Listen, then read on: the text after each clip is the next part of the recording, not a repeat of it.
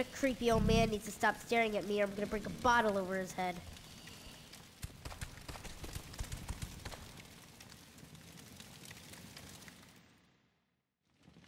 You, boy.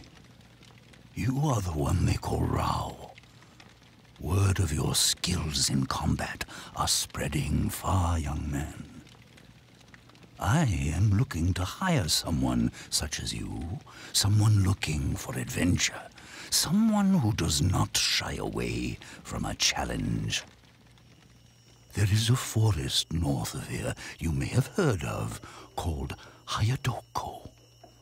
It has a reputation for being a dangerous place to pass through. People enter it, but few people leave. At the center of this place lays an ancient tomb, hidden undisturbed for a millennia, guarded by the forces within those woods. I have no interest in treasure, as I am a wealthy man and can pay you handsomely for your trouble. I am, however, interested in a scroll that is said to be in the tomb. This parchment has no value to the common man. It is only a record of my ancestry, written in an ancient tongue. Rau, I am an old man trying to understand the breadth of my line. Let us say that this document will allow my family to re-establish its proper place in society.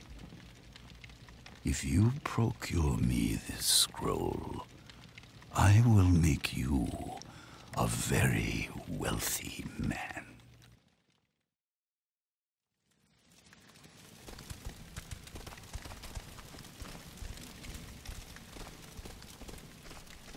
My boy, I had no idea you were from.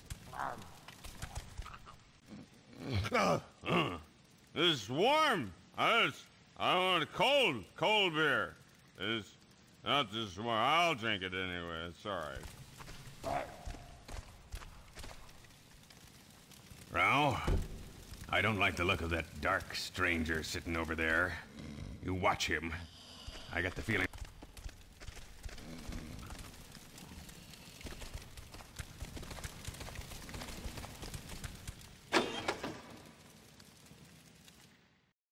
My master left early the next day and arrived at the Headoko forest as the sun began to rise. Baumusu had reacted strangely to this opportunity, saying he did not trust the old man, referring to him as Dark One. He warned Rau not to aid him, as he sensed evil. But my master was young and stubborn. The old man had promised him gold, and its luster coaxed him on.